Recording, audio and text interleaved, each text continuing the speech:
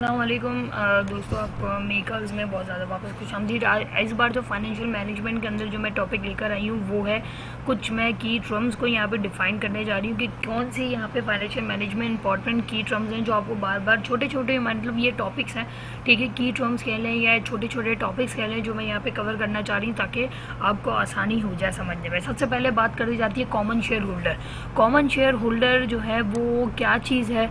ठीक है, हम पहले इसके बारे में डिस्कस करेंगे। कॉमन शेयर होल्डर जो है बेसिकली ओनर होते हैं कंपनी के अंदर और उनके पास कुछ राइट्स होते हैं कि वो एक साल के, एक साल में जब इलेक्शंस होते हैं तो वो किसी को भी इलेक्ट कर सकते हैं, वो किसी को भी निकाल सकते हैं। उनके पास वोटिंग राइट्स होते हैं कॉमन शेयर होल्डर के पास। और साल में एक बार जब भी इलेक्शन होते हैं तो वो अपना वोट डालते हैं। एक शेयर एक जो शेयर होता है कॉमन शेयर होल्डर और प्रिफरेंस शेयर होल्डर दोनों जो है स्टॉक मार्केट से रिलेटेड होते हैं। तो कॉमन शेयर होल्डर के पास अगर एक शेयर है तो उनके पास एक वोट है। अगर सौ शेयर हैं तो सौ वोट हैं। यानी कि कोई किसी भी को भी कंपनी में इलेक्ट करवाना हो तो जितने ज़्यादा शेयर्स होंगे आपके उतने ज़्यादा वोट होंगे। अब यहाँ पे नेक्स्ट उसकी बात कर लेते हैं हम प्रीफेंस शेयर की बात करते हैं। तो प्रीफेंस शेयर होल्डर्स कौन कौन से प्रीफेंस शेयर होल्डर होते हैं?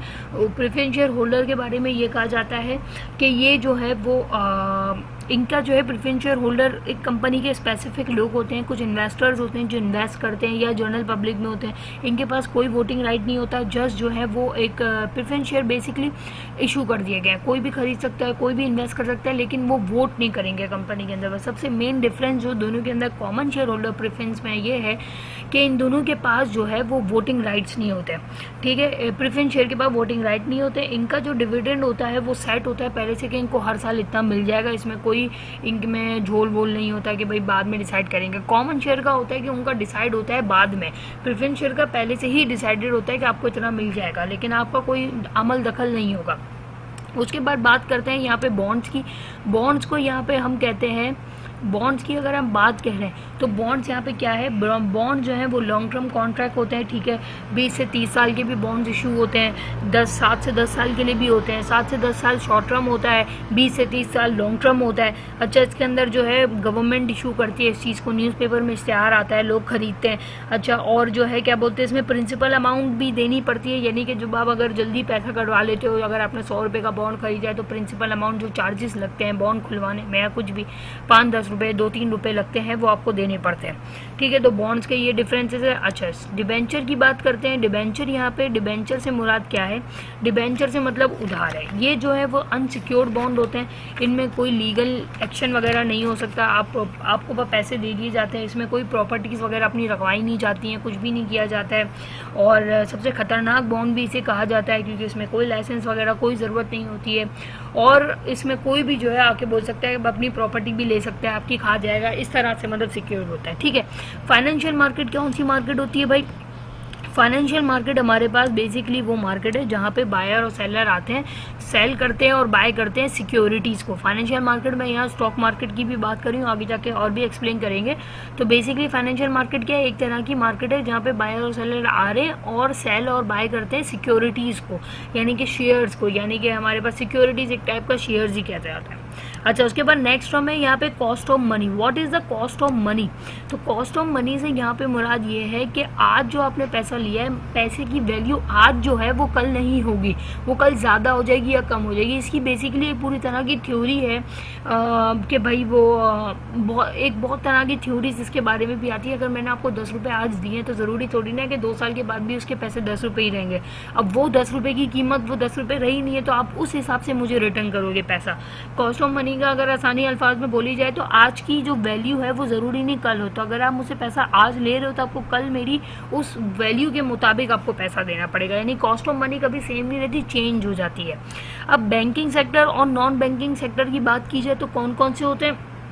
अगर हम बैंकिंग सेक्टर को लेके चले तो हमारे पास सारे कमर्शियल बैंक्स हमारे पास जो भी हैं, वो सारे इसके अंदर आते हैं। अगर नॉन बैंकिंग सेक्टर की बात की जाए तो उसमें इन्वेस्टमेंट बैंक्स आती हैं डेवलपमेंट बैंक है इस्लामिक बैंक है इंश्योरेंस बैंक है, ये सारे बैंकिंग जो है इसमें आते हैं। अब इनका क्या क्या काम होता है, वो हम एक नेक्स्ट वीडियो बनाएँगे, जिसमें बैंकिंग और नॉन बैंकिंग सेक्टर को हम डिटेल में डिस्कस करेंगे। अच्छा अब बात की जाती है स्टॉक मार्केट की। स्टॉक मार्केट जो होती है, वो वहाँ पर स्टॉक मार्केट उस चीज़ को कहा जाता है, जहाँ बायर और सेलर मिल जाते हैं।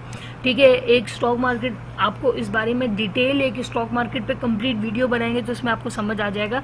अभी से इतना जान लो कि एक ऐसी मार्केट जहाँ पे बायर और सेलर मिलते हैं और वही इसका काम भी वही है जो फाइनेंशियल मार्केट का है। अब कैपिटल क्या होता है? कैपिटल वो होता है आपकी खुद की चीज़, आपकी खुद की कमाई, आपकी चीज़। ठीक है? आपने पैसा दिया, आपकी मशीन, यानी आपका सब कुछ, कैपिटल। बजटिंग मतलब क्या होता है? फ्यूचर एस्टिमेट कर रहे हो आप, ठीक है? फ्यूचर के बारे में सोचना, बजट करना, एस्टिमेट करना कि क्या होगा, क्या नहीं होगा। डिविडेंड पॉलिसी क्या होती है? डिविडेंड पॉलिसी होती है कि वो आपने अभी से ही पता लगा लिया कि आपको कितने उसमें देना है। यानी एक तरह की गाइडलाइंस होती है या एक तरह का पेपर होता है, जो कि उसमें लिखा हुआ होता है कि आपको इतने पैसे बाद में मिलेंगे। ठीक है? सेट ऑफ़ गाइडलाइंस होती है जो कंपनी यूज़ करती है डिसाइड करने में कि उसकी अर्निंग जो भी अर्निंग होगी वो किस तरीके से उस दूसरे कस्टमर को देगा, यानी कि उसके इन्वेस्टर्स को देगा। उसके बाद फाइनेंशियल रिपोर्ट क्या होती है? फाइनेंशियल रिपोर्ट आप कह सकते हो बैलेंस शीट या आप कह सकते हो हमारी इनकम स्टेटमेंट वगैरह भी हम इसको कह सकते हैं फाइनेंशियल रिपोर्ट को, जो हमारी कंपनी की परफॉर्मेंस बताता है। अब लॉन्ग टर्म और शॉर्ट टर्म फाइनेंसिंग क्या होते हैं? लॉन्ग टर्म और शॉर्ट टर्म फाइनेंसिंग कि हमें कम ज़्यादा वक्त के लिए पैसा चाहिए या छोटे वक्त के लिए पैसा चाहिए, ठीक है, ये भी डिपेंड करता है। तो ये जाते वक्त के लिए long term and short term financing की एक कंप्लीट वीडियो बनाई जाएगी आगे तो आप उसको, उसमें आपको पता चल जाएगा कि हम उसके अंदर पूरा डिटेल में डिस्कस किया जाएगा। अभी तक इतना जान रहे हो लॉन्ग टर्म और शॉर्ट टर्म फाइनेंसिंग क्या होती है? वो फाइनेंसिंग जो जो आपको या तो लंबे वक्त के लिए पैसा चाहिए या तो छोटे वक्त के लिए चाहिए। इन्वेंट्री मैनेजमेंट क्या होती है? मैनेजमेंट से वही समझ आ रहा है कि आपको डिसीज़न मेकिंग करना है और इन्वेंट्री मतलब आपकी आपकी सामान आप अपने सामान को किस तरीके से मैनेज करते हैं? इन्वेंट्री मैनेजमेंट भी एक बहुत बड़ा टॉपिक है जिसके अंदर इकोनॉमिक ऑर्डर क्वांटिटी फॉर्मूलेज और बहुत सारी चीज़ें होंगी। इसको भी हम बाद में डिस्कस करेंगे। अभी सिर्फ़ इतना जान लो कि इन्वेंट्री मैनेजमेंट होती क्या है? इन्वेंट्री की मैनेजमेंट सो so, अभी तक के लिए इतना ही रखते हैं। बाकी आपके इसमें लिंक दिया हुआ है जिसमें कंप्लीट नोट्स और कंप्लीट डेफिनेशन इनके रिलेटेड आपको वहाँ पे मिल जाएँगी और कंप्लीट कुछ पॉइंट्स वगैरह आपको मैंने लिख के दिए हैं तो आपको सब वहाँ पर मिल जाएँगे। तो आप वहाँ पर जाके अभी लिंक नीचे में शेयर करें तो आपको सब कुछ मिल जाएगा। बाकी अगली आने वाली वीडियोस में हम फर्दर इन सारी चीज़ को एलिब्रेट करके डिस्कस करेंगे stock market banking sector inventory और रिपोर्ट्स वगैरह को डिटेल में, ताकि आप सबको समझ आ जाए। तो अभी तक के लिए इतना ही रखते हैं। आप मेरे चैनल को ज़रूर लाइक और सब्सक्राइब करें। और आपको अगर क्योरीज वगैरह कोई भी है, कोई क्वेश्चन आप पूछना चाहते हैं तो कमेंट कर सकते हैं, या तो आप हमारे फेसबुक के पेज पर भी विज़िट कर सकते हैं। और तो मैं इंशाल्लाह अगले, अगली बार एक नई वीडियो के साथ बताती हूँ। अल्लाह हाफ़